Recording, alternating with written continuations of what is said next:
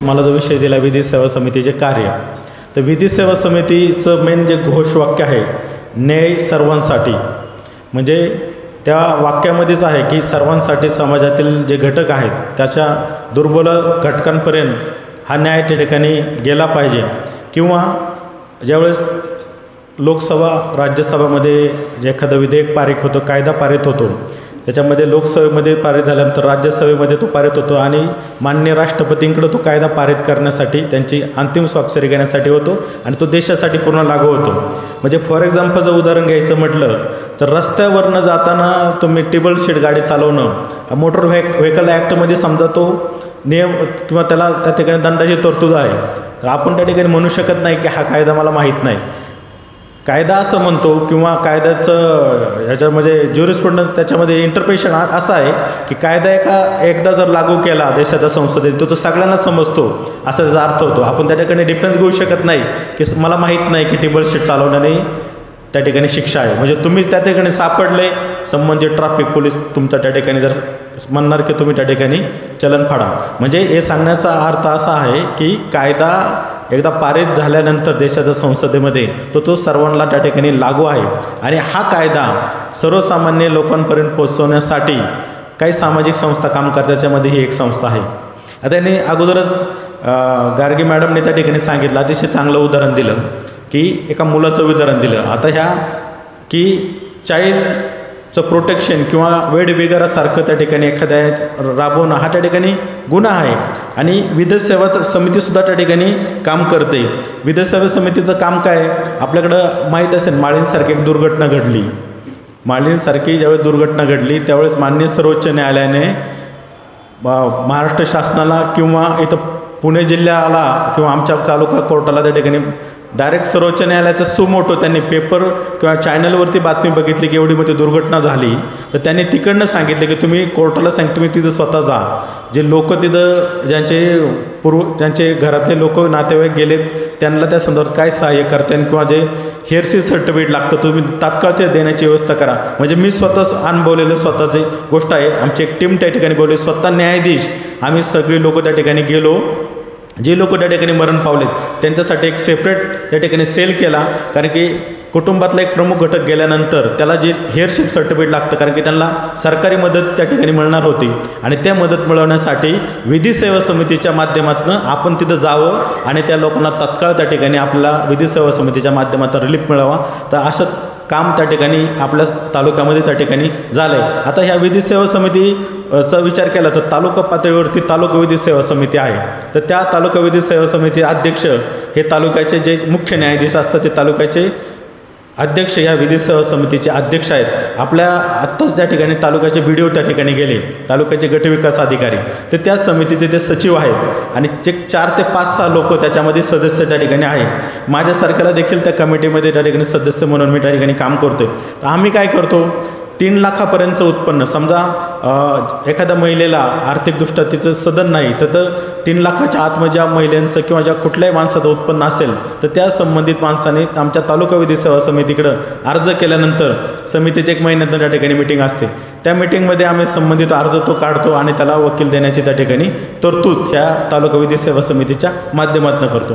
ही अशी जशी तालुक्याची समिती आहे तशी जिल्हा लेवलला सुद्धा समिती आहे. ते जिल्ह्याचे जे प्रमुख जिल्हा न्यायाधीश आहेत त्या समितीचे ते अध्यक्ष आहेत. आणि त्याचप्रमाणे जिल जिल्हा परिषद सी ओ किंवा जिल्हाधिकारी असेल असे संबंधित लोक त्या कमिटीमध्ये सदस्य आहेत. तुम्ही राज्य पातळीवरती गेले तर जे हायकोर्टाचे मुख्य न्यायाधीश आहे ते जे राज्याच्या कमिटीचे अध्यक्ष आहे आणि संबंधित शासनाचा प्रतिनिधी त्या ठिकाणी आहे. देश पातळीवरती गेले तर सर्वोच्च न्यायालयाचे सरन्यायाधीश त्या ठिकाणी त्या कमिटीचे चेअरमन आहे आणि शासनाचा. म्हणजे एक लक्षात आलं ही कमिटी न्यायव्यवस्थेबरोबर प्रशासकीय एक विंग त्या ठिकाणी जोडले. कारण की आपण न्याय देशाची राज्यघटना जर बघितली तर त्याच्यामध्ये महत्त्वाचे स्तंभ आहे. न्यायव्यवस्था जे कायदे करतात ते न्यायमंडळ आणि प्रशासन हे लोकशाहीमधले तीन स्तंभ आहे. मग ही विधी सेवा समितीची रचना बघा. न्यायव्यवस्था त्याच्याबरोबर प्रशासनाचा एक माणूस त्या ठिकाणी घेतला आहे आणि ह्या विधी सेवा समितीला शासन हे फंडिंग करत असतं.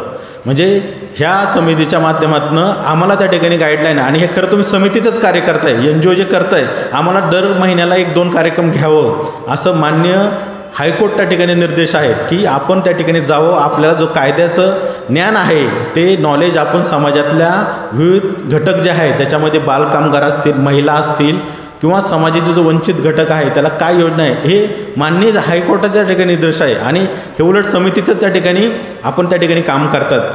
गार्गे मॅडम आल्या होत्या मी त्यांना मान्य प्रमुख न्यायाधीशांकडे गेलो त्यांना घेऊन.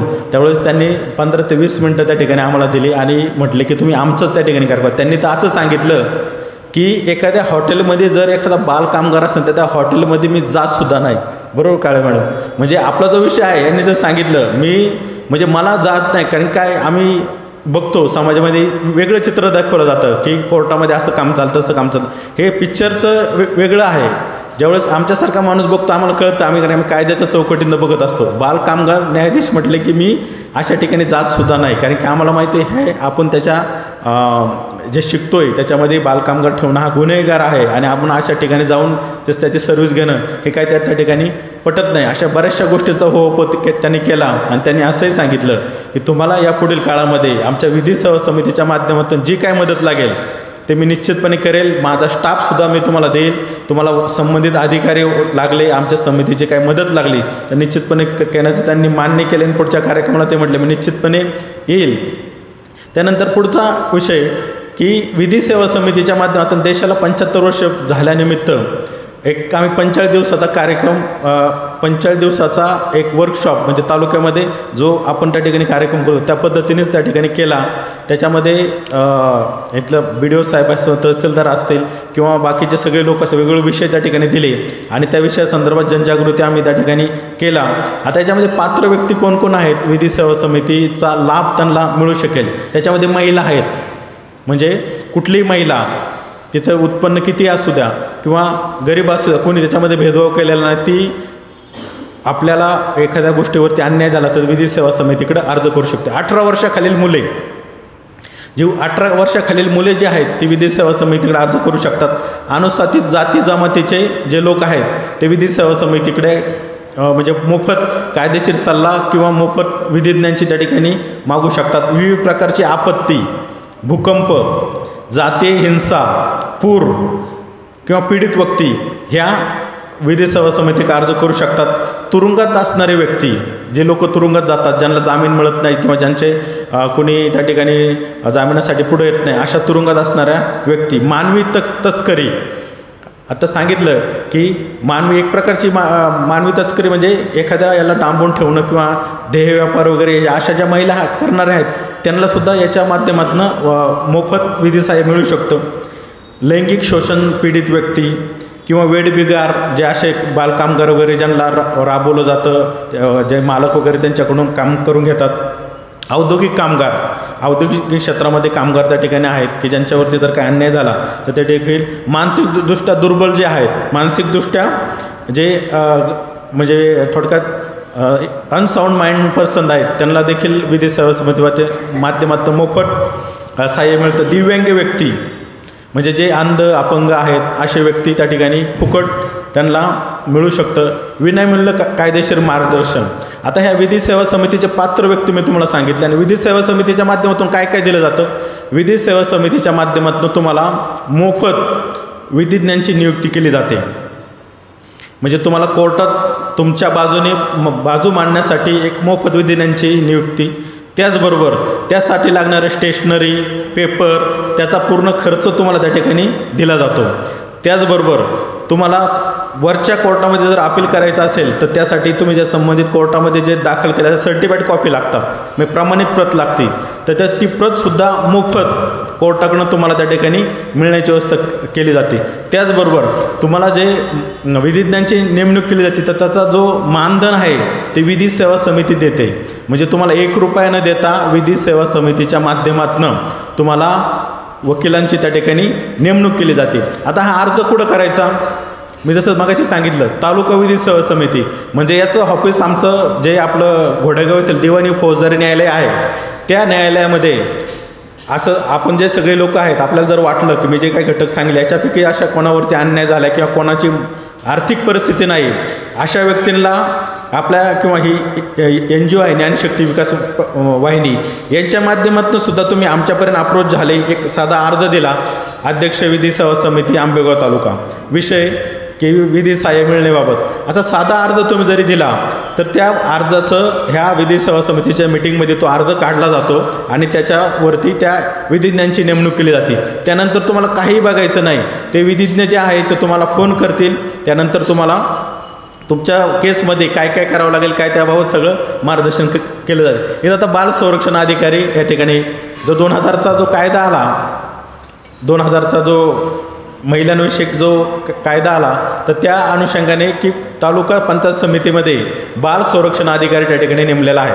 जसं आपण एखाद्या महिलेवरती जर अत्याचार काहीतरी झाला तर त्या ठिकाणी आपण क पोलिसांकडे जातो. पण बाल संरक्षण अधिकारी हा त्यासाठीच नेमलेला आहे की तुम्ही त्यांच्याकडे सुद्धा अप्रोच करू शकता. आपण डोमेस्टिक व्हायलन्स ॲक्ट खाली म्हणजे कौटुंबिक हिंसाचार जो कायदा आहे त्या अंतर्गत ज्यावेळेस कोर्टामध्ये एखादी केस दाखल केली जाते तर त्याची नोटीस बजावणीचं कार्य हे बाल संरक्षण अधिकारी त्यावेळेस बसलेत.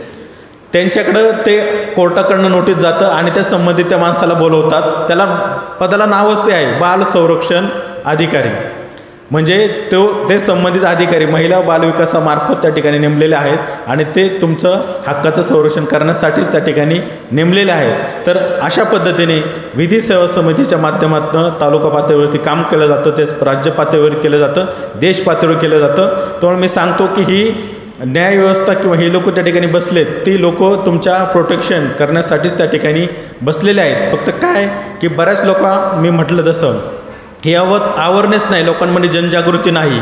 कायदा आहे पण त्या कायद्याच्या चौकटीमध्ये आपण कशा पद्धतीने न्याय मिळू शकतो हे लोकांना त्या ठिकाणी माहीत नाही त्यामुळं लोक त्या ठिकाणी येत नाही. मग त्यासाठी आम्ही पण वारंवार त्या ठिकाणी म- विषय होत असतो किंवा माननीय कोर्टसुद्धा त्या ठिकाणी सांगत असतं की आपण या ठिकाणी यासाठी जनजागृती करा. जनजागृती म्हणजे करा म्हणजे काय करा? तुम्ही स्वतः त्या ठिकाणी जा. त्या कायद्याच्याबद्दल लोकांना माहिती द्या. काही संस्थांना सामाजिक संस्थांना आपल्याबरोबर घ्या. मग आता ह्या ज्ञानशक्ती विकास वाहिनीच्या माध्यमातून एक प्रकारचे जनजागृती अवेअरनेसच करायचं काम चाललं आहे आणि याच्यातनं जे यांचा जो उद्देश आहे की चाइल्ड आपल्याला हे करायचं आहे. अगदी बरोबर आहे. साहेब या ठिकाणी बी डी ओ साहेब गेले. ॲक्च्युली कायदा असं म्हणतो की बालविवाह जो कायदा आहे बालविवाह संरक्षण अधिकारी हा ग्रामसेवक आहे. हा ग्रामसेवक हा तालुक जी ग्रामपंचायताचा सचिव म्हणून काम करत असतो. ॲक्च्युली बालविवाह रोखणं हे काम कायद्यामध्ये हे लोकांना माहीत नाही. बाल संरक्षण अधिकारी ऑलरेडी ग्रामसेवकाचं काम आहे. एखाद्या गावामध्ये जर बालविवाह होत असेल तर संबंधित ज्या गावचा ग्रामसेवक आहे त्याने तो जाऊन त्या ठिकाणी तो रोखला पाहिजे. आपली घडले घडलेली घटना आहे. एक त्यावेळेस राज राज्याचे प्रमुख त्या ठिकाणी नेते होते आणि ते एका अल्पवयीन म्हणजे एका सामुदायिक वसोळा आपण बघतो बऱ्याच वेळा. म्हणजे याच्यावरून तुम्ही लक्षात द्या त्याची ग्रॅव्हिटी किती आहे. एक एका एक ही सत्य घटना आहे मी काही काल्पनिक घटना त्या ठिकाणी सांगत नाही. जवळपास पंचेचाळीस विवाह सामुदायिक विवाह सोहळे त्या ठिकाणी झाले आणि त्या विवाह सामुदायिक विवाह सोहळ्यामध्ये एक अल्पवयीन विवाह त्या ठिकाणी झाला. विचार करा. आपण त्या ठिकाणी प्रमुख पाहुणे गेलो आणि संबंधित जे राजकीय जे व्यक्ती होते त्यांनी त्या ठिकाणी भाषण केलं. कालांतराने त्या विवाह सोहळ्यासाठी एक सामाजिक संस्थेच्या त्या ठिकाणी प्रतिनिधी जे अशा एन जी ओमध्ये काम करते होते त्यांनी खातरजमा केली. त्या एका अल्पवयीन मुलीचा विवाह त्या सामुदायिक हो-, विवाह सोहळ्यामध्ये झाला. तर संबंधित एन जी ओचे जे प्रतिनिधी होते त्यांनी त्या संदर्भामध्ये जे एस पी किंवा ते जे जे अधिकारी असतील त्यांच्याकडे त्या ठिकाणी फॉलोअप केला. मित्रांनो जे ज्या ज्या लोकांनी त्या ठिकाणी भाषणे केलं ज्या प्रमुख होते त्यांच्यावरती सुद्धा गुन्हा दाखल झाला. इतकी त्याची ग्रॅव्हिटी आहे. पण आपण लोक त्या ठिकाणी त्याचं महत्त्व लोकांना माहीत नाही किंवा माहीत नाही. म्हणजे याबाबत अ, गाव पातळीवरतीच ग्रामसेवकाने जर अशा लक्षात आलं त्यांच्याकडे केलं तर त्यांनी त्या ठिकाणी केलं पाहिजे. अशा पद्धतीने बऱ्याचशा गोष्टी त्याच्यामध्ये आहेत की तुम्हाला सांगण्यासारख्या त्या ठिकाणी आहेत किंवा कायदा कशा पद्धतीने आपल्याला संरक्षण करण्याची त्या ठिकाणी आपल्याला जबाबदारी याची आहे. आपण बऱ्याच वेळा बघतो की एखाद्या वेळेस समजा आता मान्य साहेब बसले तिथं. आपल्याकडं समजा एखादी आपण एन सी दाखल केली किंवा एखादा अर्ज के केला तर त्याबाबत जर पोलिसांनी दखल घेतली नाही तर जे तालुक्याचे ज्युडिशियल मॅजिस्ट्रेट फर्स्ट क्लास प्रथम न्यायदंडाधिकारी यांच्या खाजगी खटलासुद्धा तुम्ही दाखल करू शकता. आणि एकशे छप्पन तीन खाली म्हणजे संबंधित कोणी वक्तव्य आपल्या पुणे जिल्ह्यातच अशी घटना घडलेली आहे की ते राज्य सरकारमध्ये एक एक प्रतिनिधी होते किंवा मंत्री होते त्यांच्यावरतीच गुन्हा त्या ठिकाणी कोर्टाने दाखल करण्याचा आदेश दिलेला आहे. इतकं त्या ठिकाणी कोर्टाला पॉवर्स आहे आणि सुमोटोसुद्धा हायकोर्ट म्हणजे कॅबिनेट दर्जा आहे. हायकोर्टमध्ये तर कोर्टाचे सरकारचे निर्णय बदलण्याचे सुद्धा अधिकार आहे. आणि सुमोटो जे म्हटलं की स्वतःहून सुद्धा कोर्ट त्या ठिकाणी एखाद्या गोष्टी जर त्यांच्या लक्षात आलं तर ते स्वतःहून सुद्धा एखाद्या गोष्टी संदर्भात करू शकतो. मी माळींची घटना सांगितली की सर्वोच्च न्यायालयाने तिथं बातमी बघितली आणि सर्वोच्च न्यायालयाचा मेल आला की कोर्टाला सांगितलं तुम्ही तिथं जा. आपलं काम आहे ह्या लोकांना मदत करणं. आणि अक्षरशः आम्ही तो सर्व काल होतपर्यंत एक सेपरेट सर्टिफिकेट देण्यासाठी आम्ही सेपरेट यंत्रणा त्या ठिकाणी केली होती. हे सुद्धा एक विधी सेवा समितीच्या ठिकाणी काम आहे. आपण या ठिकाणी खरं वेळेचं त्या ठिकाणी बंधन आहे. त्यामुळं अधिक न बोलता विधी सेवा समितीचं मला जे कार्य जे विषय दिलता आणि ज्या फाउंडेशनच्या कार्यक्रम पत्रिकेमध्येच विधी सेवा समितीचा या ठिकाणी उल्लेख आला आणि विधी सेवा समितीचं का काम आपण हे फाउंडेशन करतंय त्याबद्दल मी यांना धन्यवाद देतो आणि आपल्यालाही सांगतो या संस्थेच्या माध्यमातून तुम्ही आमच्याकडं एखाद्या जर पीडित असेल तर तुम्ही निश्चितपणे या तुम्हाला पूर्ण सहकार्य करण्याची जबाबदारी आम्ही त्या ठिकाणी देतो.